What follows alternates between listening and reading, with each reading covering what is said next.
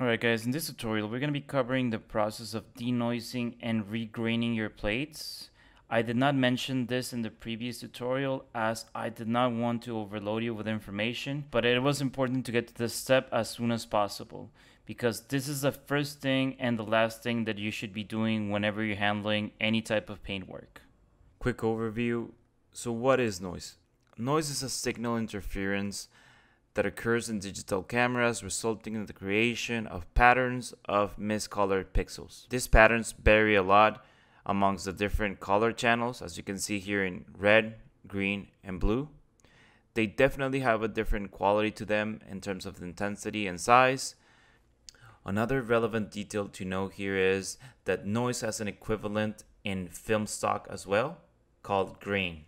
It is visually similar to noise, however, it does have a more organic feel to it. Nevertheless, both of these are an obstacle when it comes to paint and they need to be removed as the first step we start off by adding a denoise node beneath our plate. Once done, we're going to grab the noise analysis box and we're going to put it over the most flat looking surface that we can find. In my case, this area over here close is perfectly flat and plain. It'll work just fine. Then we're going to open the noise analysis section and we're going to click analyze noise and check the noise analysis button. Now, if you take a look, you'll notice that something has changed. The noise has definitely been reduced. If we actually compare the plate and the result, there's definitely been a big improvement, but we can still do slightly better by adjusting the denoise amount. You gotta be careful with this step because if you push it too far, you'll end up blurring the image and that's a no-go. We'll do 1.6 as that looks like that's as far as we can push it. This is as far as you can go with Nuke's native denoiser. However, there's a tool that's infinitely better and easier to use called Neat Video. This is a tool that you'll definitely find at any studio. And if you're considering of taking your practice into freelance or for your own projects, it's definitely worth your time because the results are amazing. I'll show you right now so that we can compare. We start off by adding a reduce noise node into the viewer and plugging it right below the plate. Then we're going to click on the prepare noise profile button. It'll open up a window with a little modal on top. Just click on progressive, then click on auto profile and then apply. And that's it. We have the ultimate denoised plate just like that. And now we're going to start comparing the original Nuke's native tool and this one. As you can see, there's a magnitude of difference between the native tool and Neat Video, right? This is the reason why I do recommend it because it is super useful and it's not very expensive, right? Next, I'm going to be explaining the setup that I got over here. We'll call it the difference setup. It applies only the changes that we've done to the denoise plate onto the original, including the noise pattern that we're about to set up. To illustrate things, we're going to be using Neat Video's Reduce Noise. So we're going to create a blur.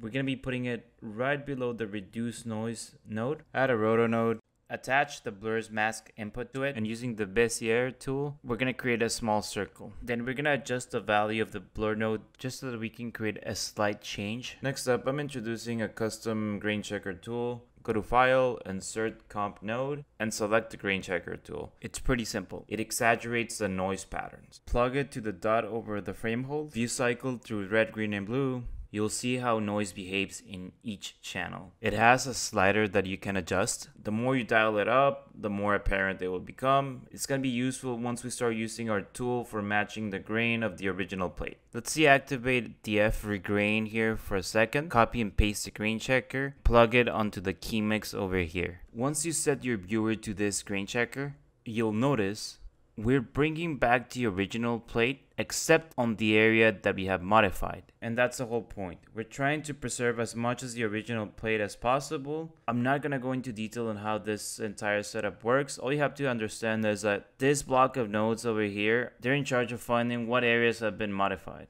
And this block over here is in charge of applying grain or noise to the area that has been modified. And this block over here is the one that will put the whole thing together. To finalize things, we're just going to explain the process of adding noise slash grain. We'll start by introducing the F regrain tool.